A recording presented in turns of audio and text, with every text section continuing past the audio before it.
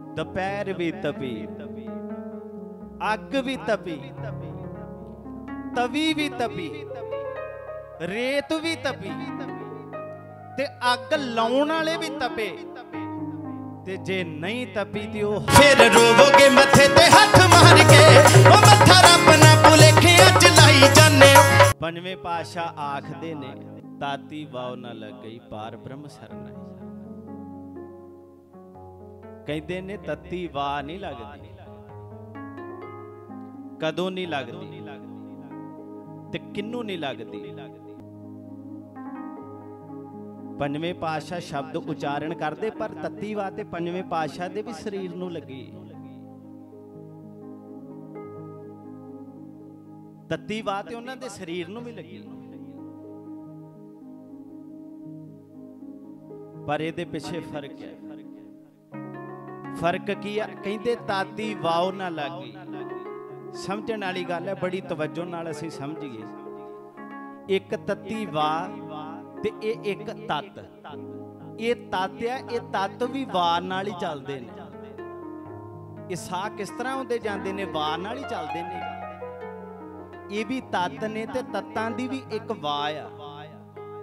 ਕਹਿੰਦੇ, ਤਾਤੀ ਵਾਹ ਨਾ ਲੱਗ ਗਈ ਪਾਰ ਬ੍ਰਹਮ ਸਰਨਾਈ। ਜਿਹਦੀ ਉਹਦੇ ਚ ਸ਼ਰਨ ਹੋ ਜਾਂਦੀ, ਉਹਨੂੰ ਤਤੀ ਵਾਹ ਨਹੀਂ ਲੱਗਦੀ। ਤੇ ਉਹ ਤਤੀ ਵਾਹ ਇਹ ਨਹੀਂ ਆ, ਗਰਮੀ ਚ ਤੇ ਵਗਦੀਆਂ ਤੱਤੀਆਂ ਵਾਵਾਂ। ਪੰਜਵੇਂ ਪਾਤਸ਼ਾਹ ਦੇ ਸਰੀਰ ਨੂੰ ਵੀ ਤਤੀ ਵਾਹ ਲੱਗੀ। ਉਹਨਾਂ ਤੋਂ ਵੱਧ ਸੇਕ ਕਿੰਨੇ ਸਿਆ ਹੈ ਪਰ ਪੰਜਵੇਂ ਪਾਤਸ਼ਾਹ ਦੇ ਸਬਰ ਨੂੰ ਤੱਤੀ ਵਾਹ ਨਹੀਂ ਲੱਗੀ। ਪੰਜਵੇਂ ਪਾਤਸ਼ਾਹ ਦੇ ਸਿਦਕ ਨੂੰ ਤੱਤੀ ਵਾਹ ਨਹੀਂ ਲੱਗੀ, ਕ੍ਰੋਧ ਦੀ। ਪੰਜਵੇਂ ਪਾਤਸ਼ਾਹ ਦੇ ਸਬਰ ਨੂੰ, ਉਹਨਾਂ ਦੇ ਸਿਦਕ ਨੂੰ, ਕ੍ਰੋਧ ਦੀ, ਰੰਜਿਸ਼ ਦੀ, ਈਰਖਾ ਦੀ ਵਾਹ ਨਹੀਂ ਲੱਗੀ। ਇੱਕ ਵਾਹ ਉਹ ਆ ਜਿਹੜੀ ਤੱਤਾਂ ਦੇ ਨਾਲ ਚੱਲਦੀ ਹੈ ਤੇ ਇਹ ਹੀ ਵਾ ਤੱਤੀ ਹੁੰਦੀ ਹੈ।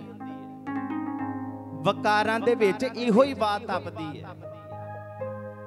ਤੇ ਜਦੋਂ ਨਿੱਜ ਦੀ, ਜਦੋਂ ਕਹਿੰਦੇ ਵੀ ਅੰਦਰੋਂ ਦੀ ਸਰਨ ਚ ਜਿਹੜਾ ਚਲਿਆ ਜਾਂਦਾ ਹੈ, ਪਾਰ ਬ੍ਰਹਮ ਸਰਨਾਈ, ਫਿਰ ਇਹਨਾਂ ਵਕਾਰਾਂ ਰੂਪੀ ਜੋ ਤਾਪ ਆ, ਇਹਦੀ ਤਤੀ ਵਾਹ ਨਹੀਂ ਲੱਗਦੀ। ਵੇਖੋ, ਉਸ ਦਿਨ ਨਾਲ ਝਾਤੀ ਮਾਰੀ ਦੁਪਹਿਰ ਵੀ ਤਪੀ, ਅੱਗ ਵੀ ਤਪੀ, ਤਵੀ ਵੀ ਤਪੀ ਰੇਤ ਵੀ ਤਪੀ ਤੇ ਅੱਗ ਲਾਉਣ ਵਾਲੇ ਵੀ ਤਪੇ। ਤੇ ਜੇ ਨਹੀਂ ਤਪੀ ਤੇ ਉਹ ਹਸਤੀ ਨਹੀਂ ਤਪੀ ਜਿਹਦੇ ird ਗਿਰਦ ਸਭ ਕੁਝ ਘੁੰਮੇ। ਐਨੇ ਤਾਪ ਜਿਸ ਹਸਤੀ ਨੂੰ ਲੱਗਣ ਡਏ ਆ ਨਾ, ਉਹ ਨਹੀਂ ਤਪੀ, ਉਹਦੇ ਸਬਰ ਨੂੰ ਤੱਤੀ ਵਾਹ ਨਹੀਂ ਲੱਗੀ।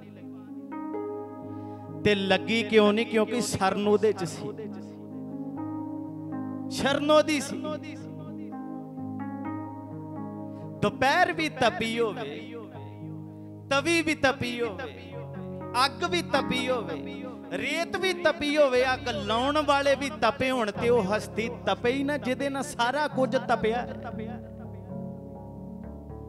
ਤੇ ਤਪੀ ਕਿਸ ਤਰ੍ਹਾਂ ਨਹੀਂ ਹੈ? ਉਹ ਹਸਤੀ ਇਸੇ ਕਰਕੇ ਨਹੀਂ ਤਪੀ, ਕਿਉਂਕਿ ਵਕਾਰਾਂ ਦੀ ਕ੍ਰੋਧ ਦੀ ਅੱਗ ਨਹੀਂ ਲੱਗੀ ਉਹਨਾਂ ਦੇ ਸਬਰ ਨੂੰ। ਉਹ ਤਾਪ ਨਹੀਂ ਪਿਆ ਉਹਨਾਂ ਦੇ ਸਬਰ ਨੂੰ।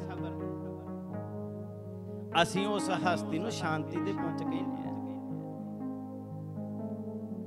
ਤੇ ਆਓ।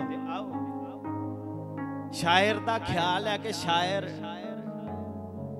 ਦਰਸਾਉਂਦਾ ਕਿ ਤਵੀ, ਤਪੀ, ਅੱਗ ਡਾਉਣ ਵਾਲਿਆਂ ਨਾਲ ਗੱਲਾਂ ਕਰਦੀ ਹੈ।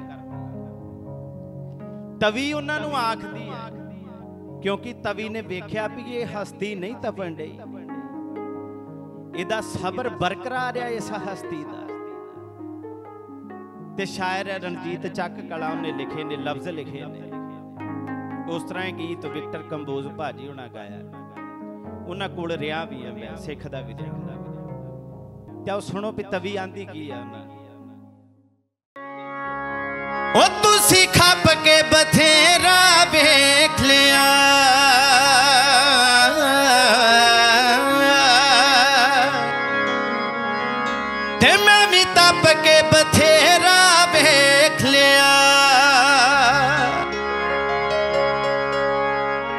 ਦਵੀ ਅੱਖ ਦੀ ਅੱਗ ਡਾਉਣ ਵਾਲੇ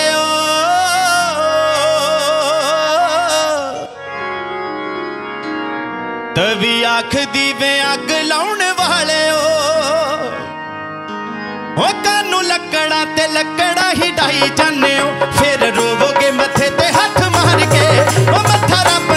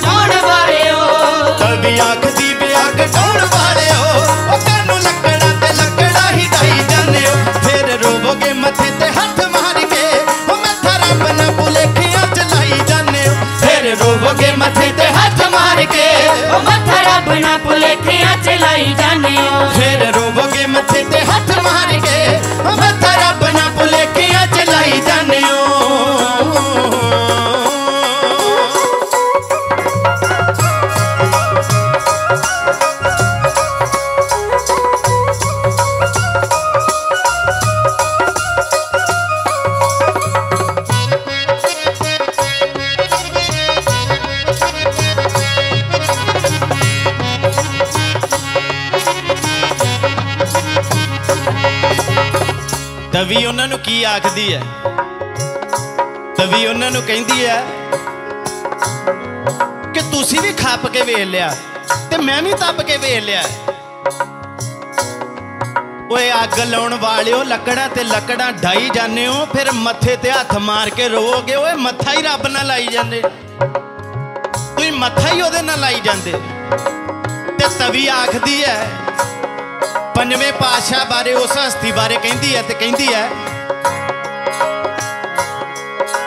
ਮੁਖ ਵਿੱਚੋਂ ਵਾਹਿਗੁਰੂ ਵਾਹਿਗੁਰੂ ਬੋਲਦੇ ਪੱਕੇ ਵਿਸ਼ਵਾਸ ਨੇ ਜਿਨ੍ਹਾਂ ਦੇ ਕਾਨੂੰ ਡੋਲਦੇ। ਪੱਕੇ ਵਿਸ਼ਵਾਸ ਨੇ ਜਿਨ੍ਹਾਂ ਦੇ ਕਾਨੂੰ ਡੋਲਦੇ ਪੱਕੇ ਵਿਸ਼ਵਾਸ ਨੇ ਜਿਨ੍ਹਾਂ ਦੇ ਕਾਨੂੰ ਡੋਲਦੇ। ਮੁਖ ਵਿੱਚੋਂ ਵਾਹਿਗੁਰੂ ਵਾਹਿਗੁਰੂ ਬੋਲਦੇ ਪੱਕੇ ਵਿਸ਼ਵਾਸ ਨੇ ਜਿਨ੍ਹਾਂ ਦੇ ਕਾਨੂੰ ਡੋਲਦੇ। ਪੱਕੇ ਵਿਸ਼ਵਾਸ ਨੇ ਜਿਨ੍ਹਾਂ ਦੇ ਕਾਨੂੰ ਡੋਲਦੇ ਪੱਕੇ ਵਿਸ਼ਵਾਸ ਨੇ ਜਿਨ੍ਹਾਂ ਦੇ ਲੇਖੇ ਵੈਰੀਓ ਆਪਾਂ ਨੂੰ ਦੇਣੇ ਪੈਣਗੇ। ਲੇਖੇ ਵੈਰੀਓ ਆਪਾਂ ਨੂੰ ਦੇਣੇ ਪੈਣਗੇ।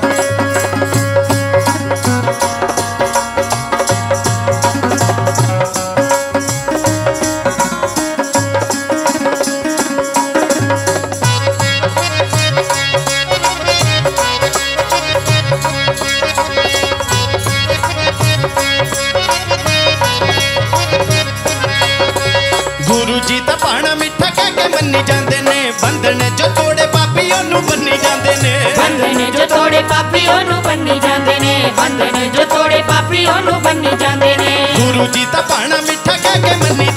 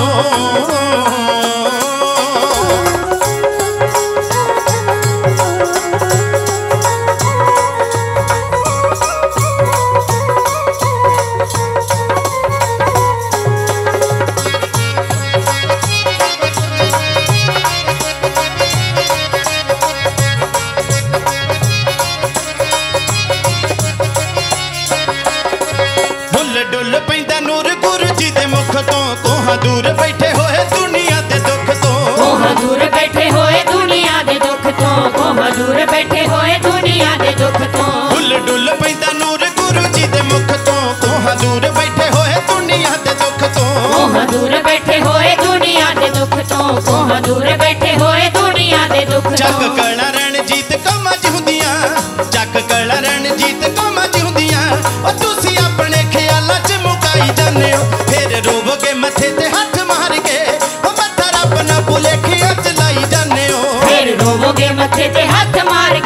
ਉਹ ਮੱਥਾ ਰੱਬ ਨਾ ਭੁਲੇਖਿਆ ਚਲਾਈ ਜਾਂਦੇ ਹੋ। ਉਹ ਮੱਥਾ ਰੱਬ ਨਾ ਭੁਲੇਖਿਆ ਚਲਾਈ ਜਾਂਦੇ ਹੋ। ਉਹ ਮੱਥਾ ਰੱਬ ਨਾ ਭੁਲੇਖਿਆ ਚਲਾਈ ਜਾਂਦੇ ਹੋ। ਉਹ ਮੱਥਾ ਰੱਬ ਨਾ ਭੁਲੇਖਿਆ ਚਲਾਈ ਜਾਂਦੇ ਹੋ।